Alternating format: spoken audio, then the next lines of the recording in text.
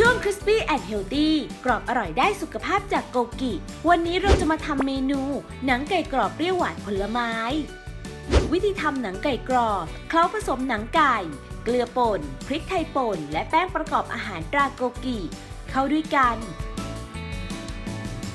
นำลงทอดในน้ำมันพืชที่อุ่นเตรียมไว้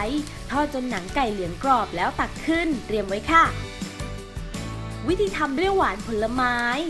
เริ่มด้วยน้ำหอมหัวใหญ่หั่น พริกฝรั่งสามสีหั่น แห้วในน้ำเชื่อม มะม่วงสุกหั่น สตรอเบอรี่ผ่าครึ่ง องุ่นดำ สับปะรดหั่น และมะเขือเทศเชอรี่ ลงฉ่าในน้ำมันพืช พอสะดุ้งแล้วตักขึ้นเตรียมไว้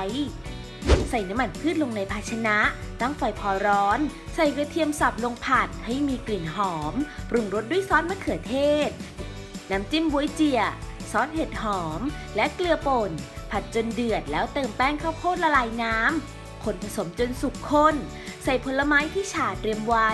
ตามด้วยหนังไก่กรอบเคล้าผสมพอเข้ากันแล้วปิดไฟ จัดหนังไก่กรอบเปรี้ยวหวานผลไม้